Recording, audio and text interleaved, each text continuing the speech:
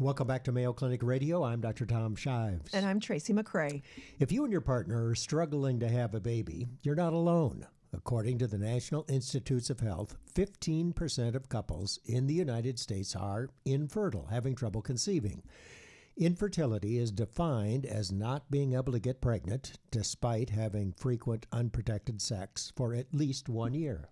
There are several factors that can affect fertility in both men and women, but fortunately, there are also many safe and effective therapies that can improve your chances of getting pregnant.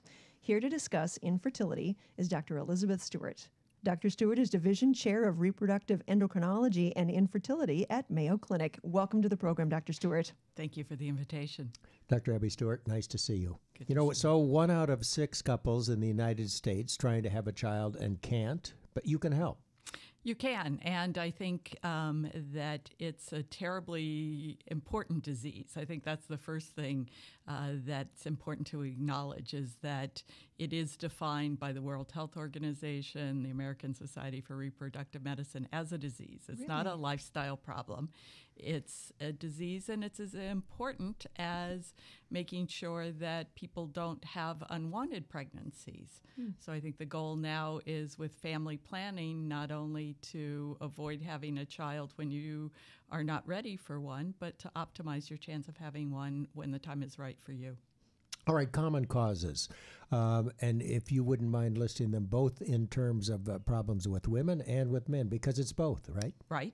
Um, so I think that's the first thing is that male infertility is as common as female infertility. So uh, about a third of the time, uh, a woman is identified to have a factor. About a third of the time, the man is, and um, some uh, and about a third of the time, both um, have identifiable causes. That surprises me, actually. And we used to always blame it on the women. Uh, didn't that's what I really did. I thought that it was Yeah, more likely for the woman to have problems. Well, I think the woman more likely goes for evaluation.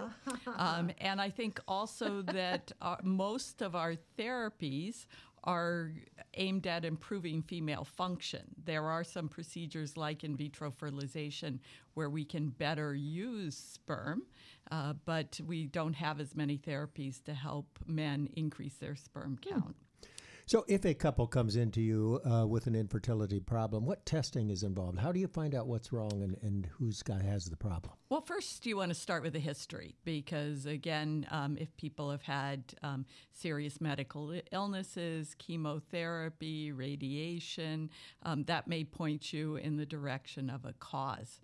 For women, um, that um, failure to ovulate regularly is one of the more common and easily solvable problems. So, if you have irregular periods, um, that's an easy thing to target. Uh, if you come in and you have 12 or 13 periods a year versus coming in and saying, well, my last one was nine months ago, um, that points you in a specific direction. Women can also have problems with blockage of their fallopian tubes. Uh, they can have problems with the uterus um, not being anatomically normal. And with men, um, again, we don't have a lot of fine testing, but we look at a semen analysis, and um, there can be low sperm counts, uh, there can be low sperm motility, and sometimes there can even be blockages in the reproductive tract so that they're making sperm, but they're not getting where they need to go. is the fact that uh, people are waiting longer to become parents uh, leading to infertility issues too? It is a factor, but not the only factor. Um, increasing age is um, a problem for both male and female infertility. Uh, with women, unfortunately, it comes a little bit um, earlier. Women uh, tend to start to run into problems in their mid 30s to early 40s, whereas for men, it's a little bit later in life. So, what are some common uh, myths or misunderstandings about infertility? Well, I think, um, again, the first myth is that it's not a disease. Uh, the second myth is that there's nothing you can do about it. Um, and um, that sometimes uh, a myth is that the only thing you can do is high tech fertility treatment, like in vitro fertilization. Uh, sometimes um, it involves correcting um, hormonal abnormalities. So, starting on medication can be an effective treatment option. Sometimes, just even education and timing um, intercourse optimally can be an option for many couples. Before we talk about the treatments available, and I, and I know you have several, who pays? If a couple is infertile and they have good health insurance, does the health insurance company usually pay for infertility treatment not, and evaluation? Not always. Um, most of the time, uh, health insurers will pay for evaluation, uh, but they don't always pay for treatment. And that's something that varies very much state by state and insurer by insurer. There are states where the state law mandates that you treat infertility just like you would hypertension or diabetes, uh, but those states are pretty few and far between. Because it can be really expensive. It can you, be, but yeah. again, sometimes um, a $10 prescription to help a woman ovulate um, more normally uh, can be all that it takes. Uh, sometimes correcting a woman's thyroid function, which has benefits in terms of her energy level and other um, body functions, uh, can be the difference between conceiving and not conceiving. So let's talk about the most common cause of infertility in a female and in a male and the treatment for those. Yeah.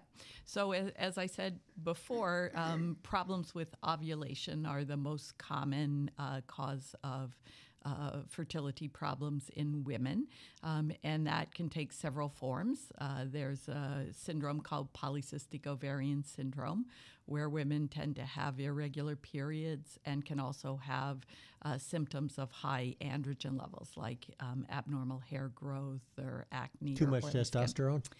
Well, it's not always testosterone. It can be other androgens, okay. but um, again, um, that's um, a medication related issue. Um, so, again, sometimes uh, a very inexpensive prescription can help her to ovulate more normally.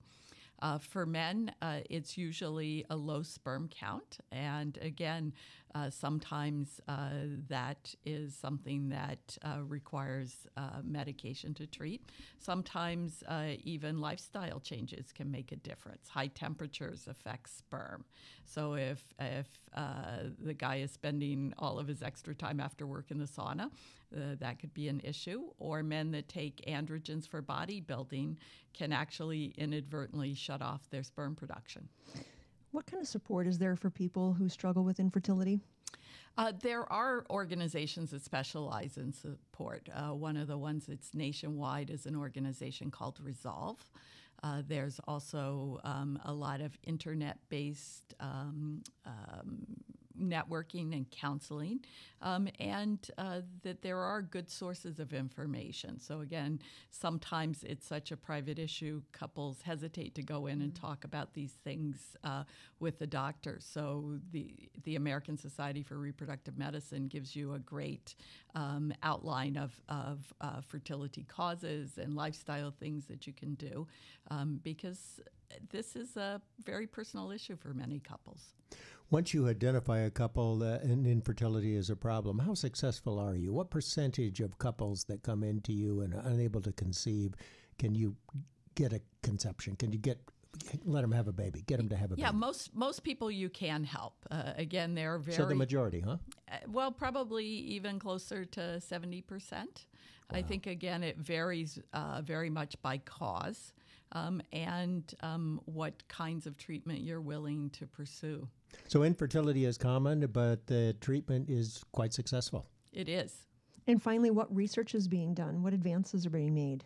There are a lot of advances. Uh, even within my lifetime uh, in practice, there have been couples where they've come to us and we've told them uh, there's nothing we can do for them. And then within uh, five years or 10 years, there's been revolutionary new treatments that uh, when I first started practice, um, the peak success rate for in vitro fertilization was about 10% per cycle. Now, good candidates can get up to 70% pregnancy rates per cycle. Wow. So you're much more successful than you were, and hopefully will be much even more successful in the future. Agree. And I think, again, also protecting your fertility, preventing infertility is also um, a key issue for many younger uh, men and women. All right, Dr. Abby Stewart, thanks so much for being with us. Thank you. Dr. Stewart is the Division Chair of Reproductive Endocrinology and Fertility at Mayo Clinic.